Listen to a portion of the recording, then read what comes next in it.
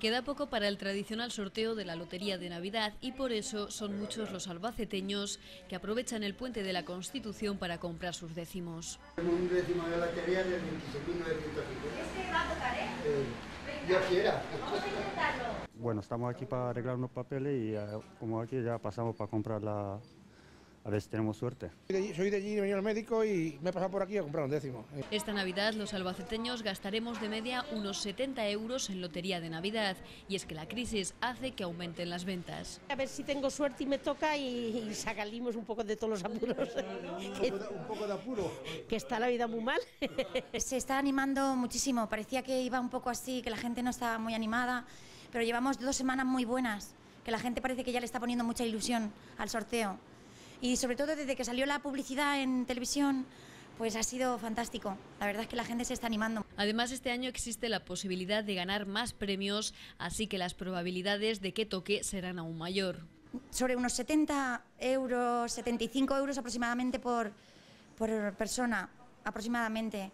Pero sí que en Navidad la gente se anima mucho. Y que si papeletas, que si, ¿sabes? La familia. Es que es una lotería fantástica, muy bonita. Pero todos tenemos nuestros números preferidos. En Albacete, los números que más jugamos son Yo quería el 27, el día de que se ha nacido el chico, pero como no tiene, a ver, es que terminan 77.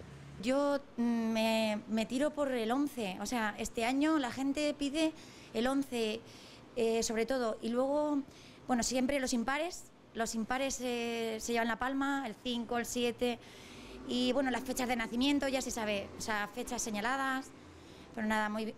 Luego al final se llevan todos. Y en cuanto a las supersticiones, todos tenemos una. Sueñan y de hecho nos ha pasado con un número y han venido, bueno, cantidad de gente por ese número.